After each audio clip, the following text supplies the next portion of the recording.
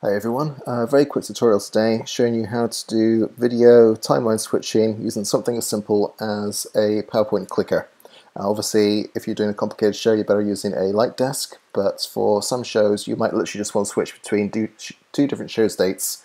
Uh, for example I have a client who wants a loop uh, for the main event and then for one part of the event they want to switch to a more high impact uh, video sequence and then back to the loop.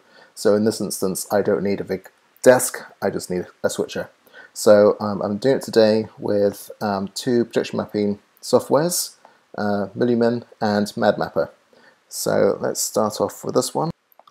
Let's add this content to the timeline, or dashboard rather.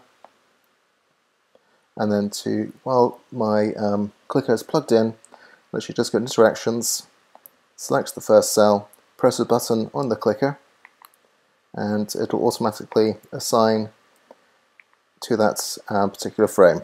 Now the thing is, I'll show you what will happen if I press play. If I literally just click the button, it'll just flash on for a second and I have to hold down. The way to get around that is go back to interactions and where it's got switch, change that to toggle.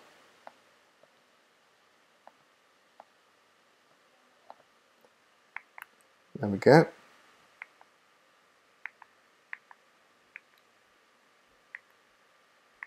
And that easily we can switch between them.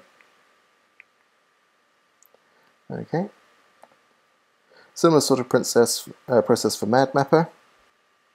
In this case, um, I've set up two groups, In each group I've got a video playing, and this time you need to go to Edit Keyboard Controls. Once that's selected, click the feature you want to change.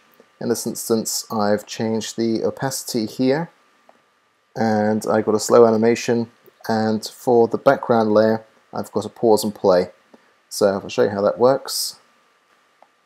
So I should be able to fade between them using one click.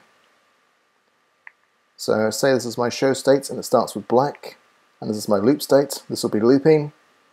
I'll fade to a black scene and then I'll press play. And when that's finished I'll press fade back to the original one again. Job done so it's that easy. Uh, obviously there's lots of other devices, but uh, PowerPoint Clicker is um, very cheap and easy to use.